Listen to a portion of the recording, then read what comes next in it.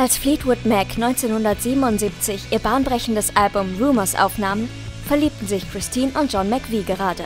Hier erfahrt ihr, wie der phänomenale Erfolg der Band ihre Ehe belastete. Christine McVie war eine Musikerin, die vor allem als Keyboarderin und Sängerin von Fleetwood Mac bekannt wurde. Christine Perfect wurde 1943 in England geboren und begann im Alter von vier Jahren mit dem Klavierunterricht. Christine wurde eine klassisch ausgebildete Pianistin und spielte als junge Erwachsene in den späten 1960er Jahren in einigen Bands in England. Sie spielte in der Bluesband Chicken Shack, bevor sie sich Fleetwood Mac anschloss. In einem Interview mit dem Goldmine Magazine aus dem Jahr 1992 erzählte Christine, dass sie ein Fan von Fleetwood Mac gewesen sei, bevor sie sich ihnen anschloss und sagte dem Magazin, ich habe sie absolut verehrt. Für mich waren sie die ultimative Musik, die es zu dieser Zeit gab.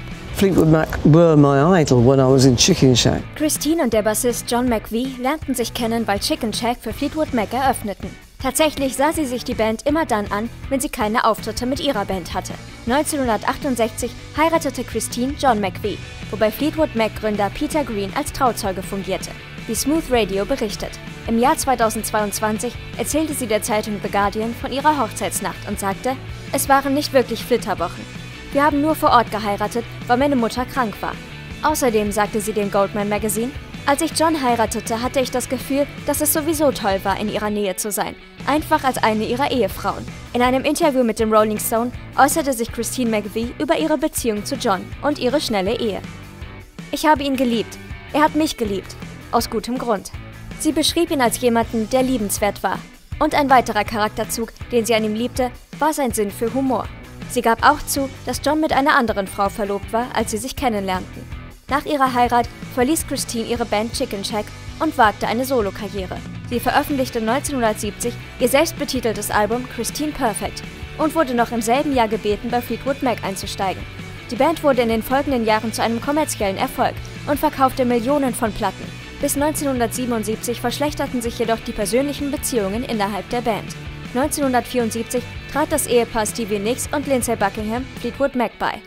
Und 1976 trennten sie sich. Mick Fleetwood fand außerdem heraus, dass seine Frau eine Affäre gehabt hatte. Inzwischen hatten auch Christine und John Beziehungsprobleme und beschlossen, sich nach acht Jahren Ehe scheiden zu lassen. Nach Angaben der Washington Post führte John McVies Alkoholkonsum schließlich zum Scheitern der Beziehung.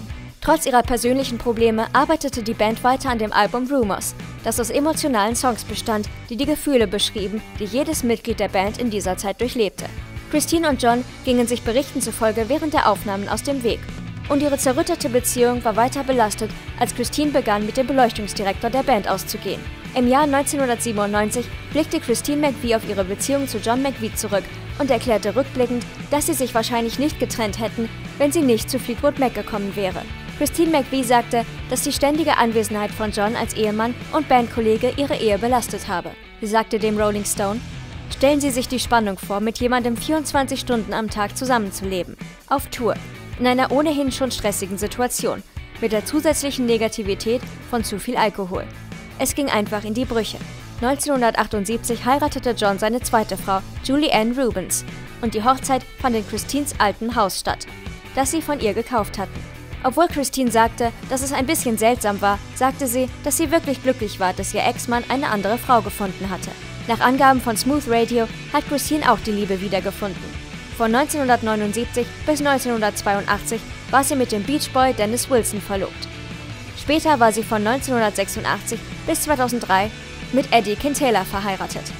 Im Jahr 2022 sagte sie dem Rolling Stone, dass ihre Beziehung zu John nie so melodramatisch war wie die von Stevie und Lindsay und dass sie immer noch gelegentlich miteinander telefonierten oder sich schrieben.